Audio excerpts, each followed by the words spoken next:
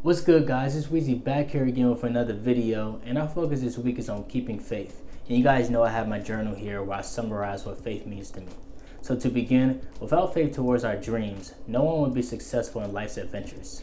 Furthermore, we all know that opportunities and success doesn't appear overnight, so we have to continue to work hard towards our goals even when challenges arise. You must have that persistence and will to drive yourself every day because when doing so, you will overcome barriers and place yourself another step closer to your dreams. So when people tell you no, you're crazy, why, or you look stupid, don't even pay them any attention. Just keep going because I can guarantee you they will be the same people asking for your help in the future and regretting the decision that they made in the past.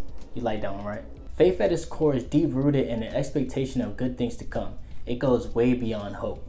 While much of hope lives in the mind, faith is steeped in the heart and the spirit. It can't be explained by reason or logic, nor be understood by a single dimension. Faith is just as important as the air we breathe. While the oxygen in the air nourishes the body, faith nourishes the heart and the soul.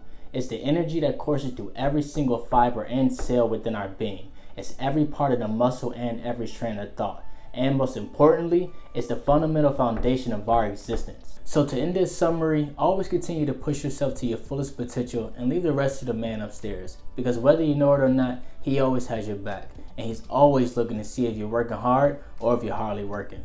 Now here are five reasons why faith is so important to me. And I'll be reading back and forth from my journal because these reasons are pretty long.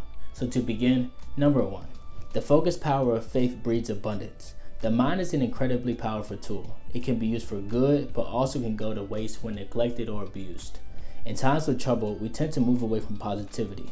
We go from a state of abundance to a state of lack. But faith is a tool that helps replenish abundance in the heart and the spirit and not just in the mind. And lastly, faith is the pathway for abundance, so be sure to hold it at the forefront of your mind. Don't be afraid to expect the very best for yourself. It isn't about being selfish or just randomly wishing for things. It's about the true deep down belief in your heart and soul that things will improve, and most importantly, you deserve the very best in life. Number two, whatever doesn't kill you makes you stronger.